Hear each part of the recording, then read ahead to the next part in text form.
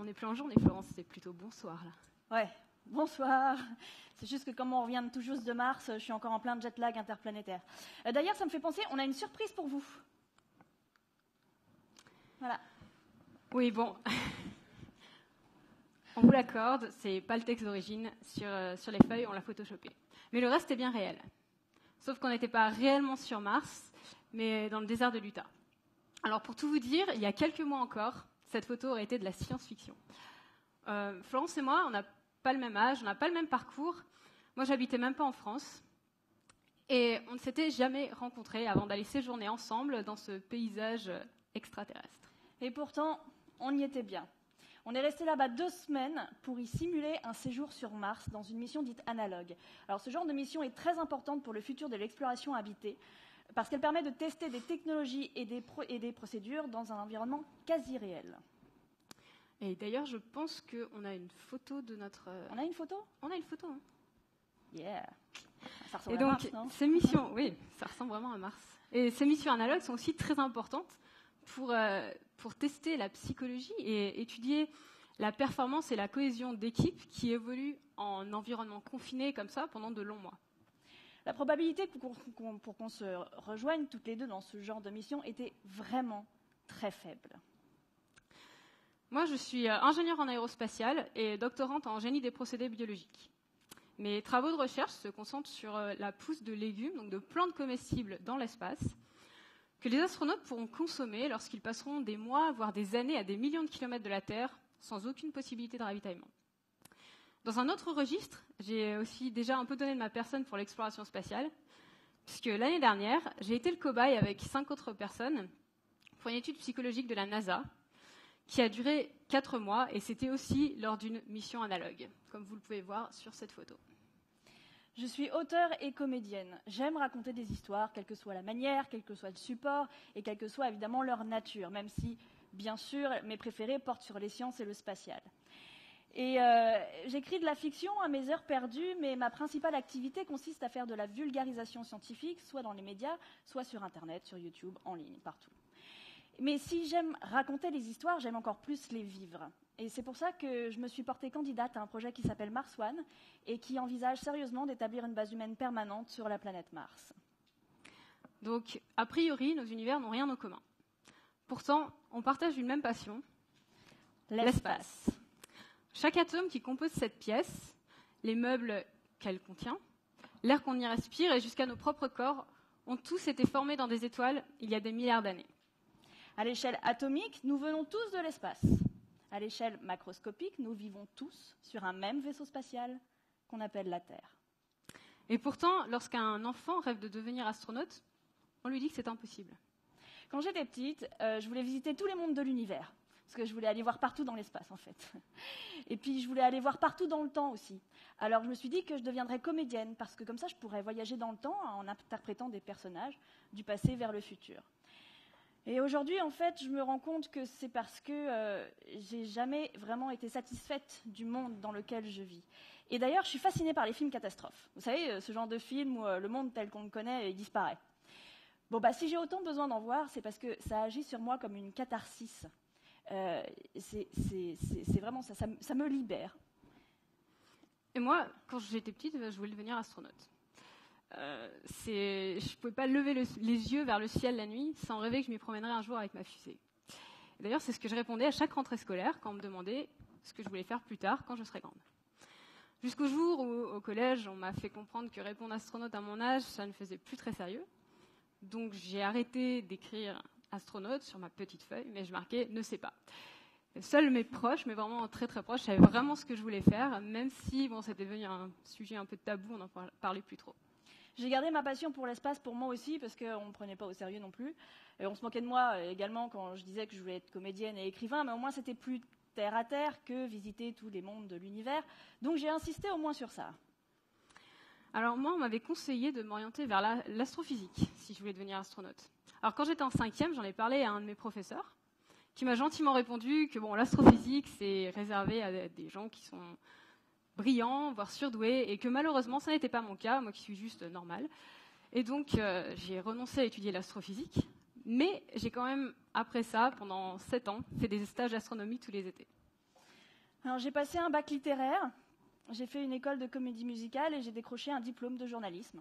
Et pendant mon temps libre, eh ben, j'écrivais des histoires dans lesquelles l'héroïne avait toujours un lien avec l'espace.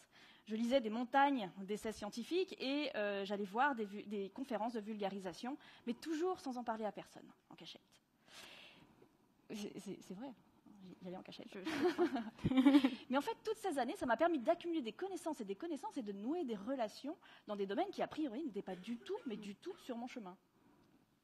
Eh ben, moi, je me suis orientée vers euh, l'école des mines de Nancy parce que ça ne me fermait aucune porte et ça permettait d'orienter ma carrière vers le spatial comme, comme, je le voulais, grâce à mon choix de département, grâce à mon choix de, stage, notamment celui à l'Agence spatiale européenne, et grâce à mon choix de double diplôme en génie aérospatial. Alors j'ai commencé ma carrière sur France 5 dans une émission qui s'appelait Le Grand Webzé. Voilà, où j'étais à la fois euh, community manager, co-animatrice et comédienne, parce qu'en parallèle à l'émission, on faisait une, web série pour raconter le, quotidien de la production. Et euh, j'aurais jamais eu, jamais eu ce poste si euh, je n'avais pas à la fois eu mon double cursus journalistique et artistique, si je n'avais pas tenu un blog personnel depuis des années, et si je n'avais pas écrit et réalisé un CV vidéo qui avait fait le buzz deux ans auparavant. Donc c'était déjà beaucoup, beaucoup de travail pour arriver jusque-là. Et j'étais la plus heureuse de tout l'univers jusqu'au jour où l'émission s'est arrêtée prématurément en plein milieu de la saison. Et euh, là, je vous avoue, euh, j'étais un petit peu déprimée. Donc euh, j'ai cherché quelque chose de, créatif à faire pour, pour, penser à autre chose. Mais je ne savais pas quoi. Alors du coup, je me suis refait le film à l'envers et je me suis souvenue de la toute première émission qu'on avait faite. C'était le 28 octobre 2011. Et cette date-là était une des dates de fin du monde dans un des calendriers Maya. Et euh, du coup, on en a fait, le thème principal de l'émission, que j'avais adoré, vous imaginez bien. Et pour euh, venir nous en parler, on avait invité un astrophysicien, Christophe Galfard. Voilà, je pense que j'aurais été moins impressionnée si on m'avait présenté Brad Pitt, environ. Euh, il y avait un illustrateur sur le plateau à qui les internautes avaient demandé de dessiner un pédalorameur pour aller sur la Lune. Et notre invité, Alexandre Astier, avait fait un sketch sur la physique quantique quelques mois plus tôt que j'avais adoré. Et je me suis souvenu de tout ça. Et en fait, je me suis dit, bon, euh, c'est ridicule parce que euh, cette émission et les rencontres que j'ai pu faire pendant cette émission, je les ai appréciées toujours en cachette, secrètement, comme si c'était une honte. Et je me suis dit, c'est ridicule, il faut arrêter de se cacher. Euh, je vais, crier au monde entier que ma passion, c'est l'espace et c'est la physique. Et donc, j'ai décidé de créer l'univers en 30 comptes sur Twitter. Je partage, je partage l'actualité des sciences et de l'exploration spatiale. J'ai fait un billet sur mon blog pour expliquer ma démarche, et c'est comme ça que tout a commencé. Voilà, donc Florence travaillait dans les métiers en France, moi dans la recherche à l'étranger. Donc on évoluait dans des sphères totalement distinctes. Ouais, jusqu'au jour où on s'est rencontrés sur adoptunefusée.com. Mais Florence, ne leur dis pas ça, c'est faux. On s'est rencontrés, oui, on s'est rencontrés lors d'un concours international pour gagner une place pour euh, un vol touristique, un vol spatial touristique d'une valeur de 100 000 dollars. C'est vrai, autant pour moi. Donc euh, l'une des épreuves consistait à s'inscrire en ligne et à récolter le plus de voix du public. Et c'est là qu'on s'est croisés. On était toutes les deux dans le top 10 en France. Improbable, n'est-ce pas? Mais pas impossible.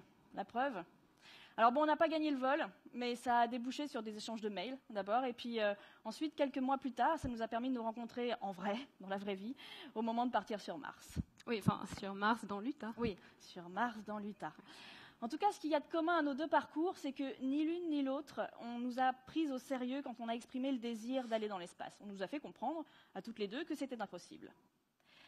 Mais est-ce que ça l'est vraiment?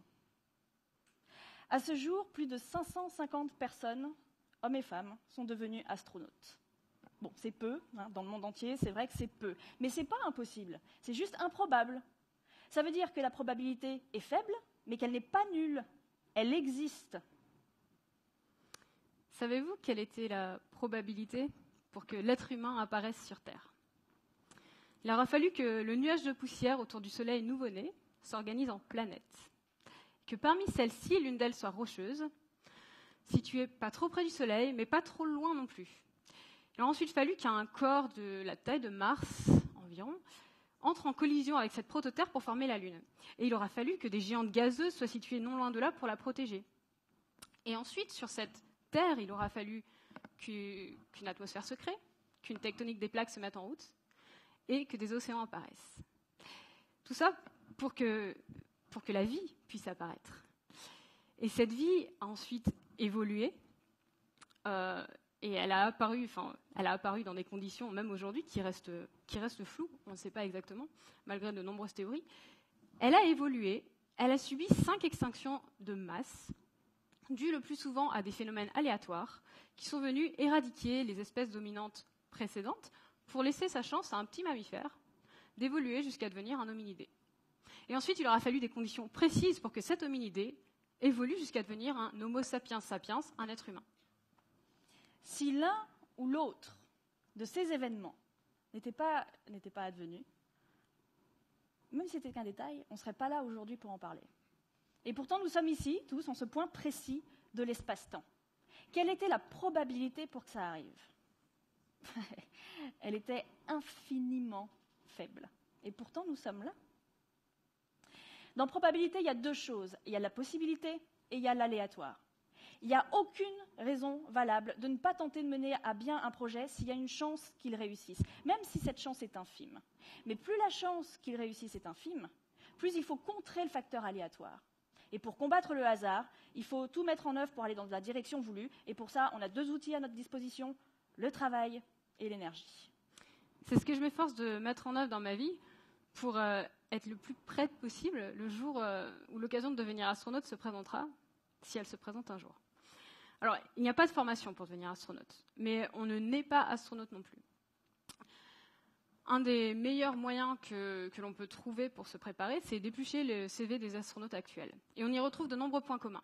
Une formation de pilote de chasse ou de pilote de ligne, un doctorat, un brevet de pilote privé, de la plongée, des sauts en parachute, des activités sportives soutenues et de nombreuses langues parlées. Les gens passent. Ma formation et mes activités ne me permettent pas de postuler à un recrutement d'astronautes classiques dans l'immédiat. Mais euh, quand le projet Mars One a lancé un appel à candidature pour un aller simple vers Mars en ouvrant euh, les candidatures à absolument tous les profils, bah, j'ai tenté ma chance. Et euh, je ne suis pas allée jusqu'au bout du processus de sélection. Mais quelle était la probabilité pour que je fasse déjà partie du 0,3% des candidats qui sont arrivés jusqu'au second tour? Elle était faible, cette probabilité, mais j'y suis arrivée. J'y suis arrivée parce que j'ai travaillé ma candidature d'arrache-pied et parce que je me suis donnée à fond dans toutes les étapes euh, du processus de sélection. Et cette aventure d'un an m'a permis de renforcer ma position d'ambassadrice communicante sur l'exploration spatiale et sur les sciences de l'univers. Donc, lors de la dernière euh, sélection d'astronautes en 2008, d'astronautes européens en tout cas, il y a eu plus de 8000 candidatures pour 6 places. Ça fait moins d'une chance sur 1000. Improbable, n'est-ce pas? Mais pas impossible. Et donc moi, en épluchant le CV des, astronautes européens et américains, ce que j'ai trouvé dedans, c'était des choses que j'avais toujours eu envie de faire et que je voulais absolument faire avant de mourir. Et donc ce que j'ai fait, c'est que j'ai changé le timing. Je me suis dit que j'avais pas toute ma vie pour les réaliser, mais j'avais jusqu'à la prochaine sélection d'astronautes européens. Donc jusqu'à présent, j'ai eu la chance de piloter un avion au-dessus de Chicago, d'explorer les fonds marins de Hawaï, de courir le marathon de Brême, de calculer des écoulements turbulents et des trajectoires interplanétaires, de pouvoir m'exprimer correctement en cinq langues, d'avoir commencé une thèse, mais surtout d'être allé trois fois sur Mars. Oui, enfin en simulation. Oui, en simulation. Mais n'empêche que tout ça représente beaucoup de travail, d'efforts, de sacrifices. Et euh, si je m'efforce de, combattre euh, le facteur aléatoire euh, et, de combattre l'improbable, c'est pour faire basculer le curseur de l'impossible vers le possible. Avec mon bac littéraire et ma formation de comédienne, quelle était la probabilité pour que je puisse apporter ma contribution au milieu du spatial? Bah, Elle était faible, encore une fois, cette probabilité. Donc euh, il a fallu que je travaille moi aussi beaucoup pour faire également basculer le curseur de l'impossible vers le possible. Donc du coup, en plus de l'univers en de compte sur Twitter, euh, j'ai créé un podcast qui m'a permis de devenir chroniqueuse scientifique dans la tête au carré sur France Inter. Je fais des, vidéos de vulgarisation scientifique sur YouTube et depuis, eh ben, voilà, je côtoie des astronautes, j'interviewe des, euh, des scientifiques de renom, j'ai fait un vol en apesanteur et j'ai participé à une mission de simulation martienne. Donc le travail de Florence est très important pour le futur de l'exploration spatiale, puisqu'il permet d'impliquer le grand public et de le tenir informé des dernières avancées de, ce domaine. Et c'est crucial, c'est vraiment crucial de relayer ce genre d'informations pour, les politiques et pour le grand public, pour leur montrer que le spatial, c'est pas quelque chose d'inutile et d'abstrait pour une, une bande d'illuminés, mais que ça vient des applications réelles sur Terre et que ça contribue à rendre notre monde meilleur. Alors j'ai raconté notre mission sur Mars à la fois de manière journalistique, mais aussi par le biais de vidéos, en m'exprimant euh, plus euh, comme euh, auteur et comédienne. Et, et tout ça, et pourquoi j'ai fait tout ça d'ailleurs? Ah mais, mais je sais pourquoi j'ai fait tout ça. Mais tout à fait, pour le grand public déjà. Mais j'ai pas fait seulement ça, c'est que j'ai participé également aux expériences scientifiques que Lucie et les autres membres d'équipage avaient menées sur place et dont les données serviront aux futures explorations habitées vers Mars. Et euh, bah voilà, la chance pour que j'aille visiter un autre monde que la Terre est quasi nulle, mais tout est dans le quasi. Euh, je ne sauverai pas le monde à moi toute seule, mais en équipe, j'ai déjà contribué à le faire et je ne compte pas m'arrêter là. Et donc, si on est ensemble aujourd'hui euh, pour témoigner de, notre travail et de nos efforts pour contrer l'improbable et aller au-delà du possible, c'est pour montrer que même si individuellement on n'arrive pas à aller dans l'espace, on aura au moins contribué à l'effort commun d'envoyer des êtres humains sur, Mars. Merci. Merci.